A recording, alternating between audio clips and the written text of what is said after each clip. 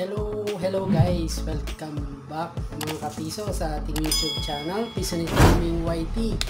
So today guys, ang experiment natin is i-test natin kung ilan ang konsumo nitong 19 inches na LCD. So kontra dito sa uh, 19 inches din na LED. LED monitor. So makikita natin kung gaano ka gaano kalaki yung diferensya nila sa konsumo sa kuryente. So ito guys, so i-try muna natin itong isa, itong LCD. LCD. Okay guys. Itong LCD kasi guys, uh, mas lumang version kasi ito guys. So yan. So gagamit tayo ng ating watt meter. So yan, makikita nyo kung ilan yung konsumo niya. So ayan guys, so natin para masubukan na. Ayan. So guys, naka-on na yung monitor natin. So makita nyo ngayon kung ilan yung konsumo niya. So, ah so nag-average siya guys sa 21 21.69 so tingnan muna natin guys uh, check natin yung mga 10 seconds para makita mag-stabilize yan so makikita kung ilan tayo so gamit lang tayo ng notepad dito para may record natin yung difference yung range nya so ngayon guys nasa 21 naman na So, 21. Ah, so, 21. Yun. 21 guys. Oh, so, bumababa pa rin pala yung ano, consumer nito.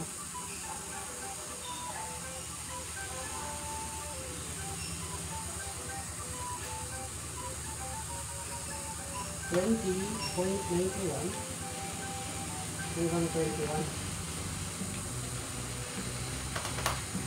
21 watts guys so ito yung LCD, LCD guys ah so check natin so bumaba po siya guys. 20.87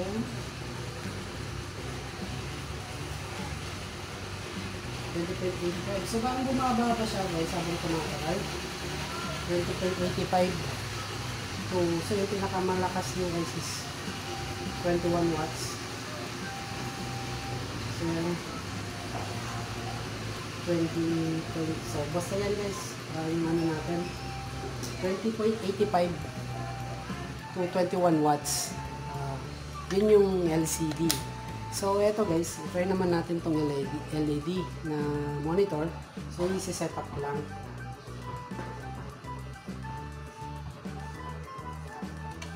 set up ko lang guys ha. Wait lang.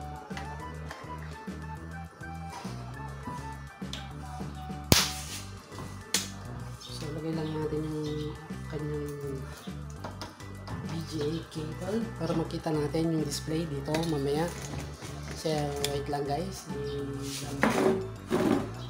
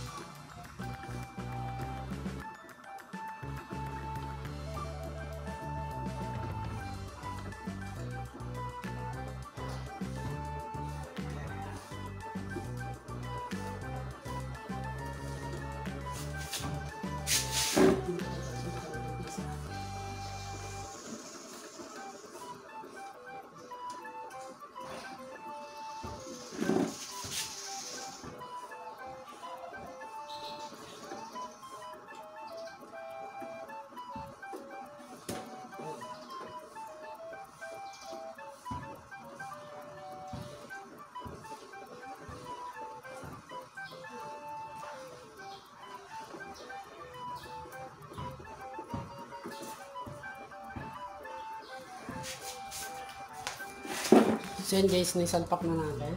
So ito na, testing tayo. Oops, matay. So gumagaw yun na natin.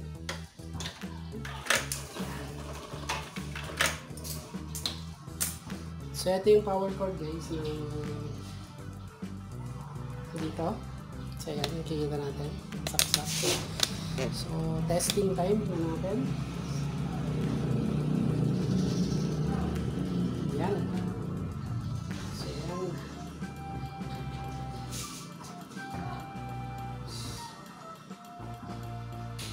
So, yan guys. Ito yung LCD natin. Pakasin natin para makita nila. 22, Okay. So, ito guys yung LCD. So, LCD. LCD. So, yan yung range niya guys ng konsumo niya. 20.85 to 21 watts. So, ito naman yung LED natin.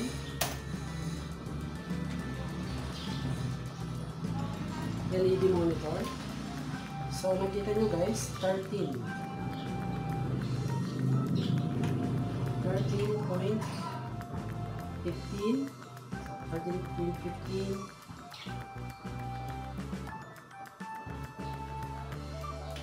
to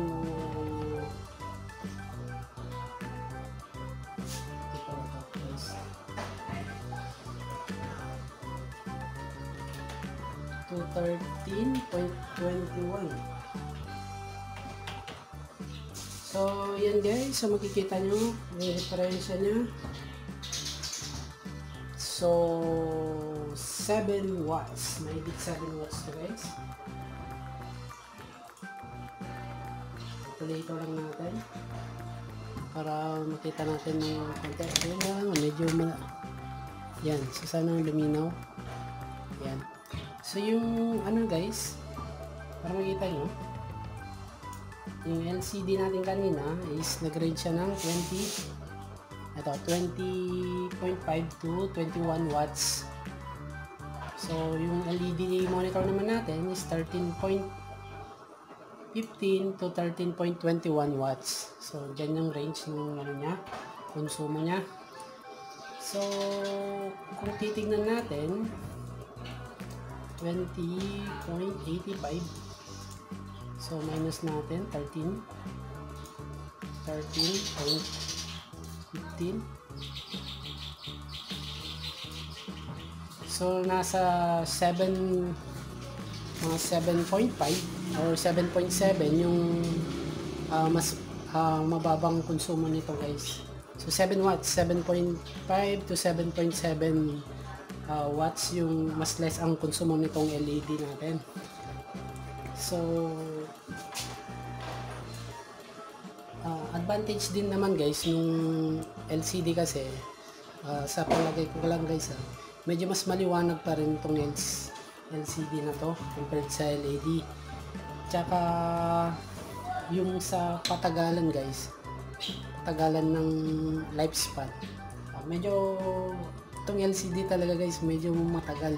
So meron na ako dati LCD ay LCD na ganito, nabili ko nung way back 2013 pa yun guys eh. So nag-start ako ng Pisonet dati 2013, then natigil ako ng 20 ah 2014. Ah, tapos nag-start ako ulit ng 2018. So, yung mga monitor ko dati guys na mga 7 years ago na 7 years na, may get uh, second hand pa yun dati eh. Medyo mahal pa, nasa 1.8 yung square na LCD. Hanggang ngayon, gumagana pa rin. Meron man nasisira pero nare-repair. So, ang advantage guys nga lang, nitong, kung sa konsumo guys, panalo ka dito sa LED. Pero pag sa patibayan guys, LCD. So, kung sa piso net, sa palagay ko, kung profit sharing, mas maganda tong LCD. Kasi tong LCD guys, nare-repair to. So, nasubukan ko na magpa-repair ng ganito sa mga electronics. Kaya nilang gawin. So, ang charge nila, kung hindi ako magkakamali, nasa 300. So, kaysa bumili ka ng bago, mas, ano siya guys. Mas, para, para sa akin guys, mas practical ito. LCD kung pang piso net, lalo na pag profit share. Pero kung gusto mo naman mas matipid sa kuryente, yung LED pag dito sa bahay. So, yun lang guys. Uh, eksperimento natin. Mas mataas ang konsumo ng LCD. Sa totoo, mas mataas. So, first time ko rin ginawa to. So, konfirmado, mas mataas yung konsumo ng LCD compared sa LED yung monitor. So, thanks for watching guys. See you again sa next video. So, mag-experiment tayo ulit. Hmm, uh, pwede kayo mag-comment guys kung anong gusto nyo. Kung may gusto kayong ipa-eksperimento. Halimbawa, may nagtanong din sa akin kasi last time kung ilan yung konsumo ng isang unit na, gito, na ganito. So, ito guys is Ryzen 3. 2200G. Ito naman is Ryzen 3 na 3200G. So, pwede natin silang pag uh, i-test uh, sa susunod. Kasi also although pare silang Ryzen, uh, magkaiba na silang model. So mas ano tong isang to, uh, mas modelo. So pwede rin yung ganun guys or pwede rin yung Athlon versus Ryzen, Athlon versus yung A8, A series. So may titignan ko kung ano yung mga available na A series. So siguro yun guys ang next na gagawin nating eksperimento kung sa power consumption para alam natin kung sinong mas malakas sa kuryente. So thanks for watching guys. See you again sa next video natin. Bye-bye.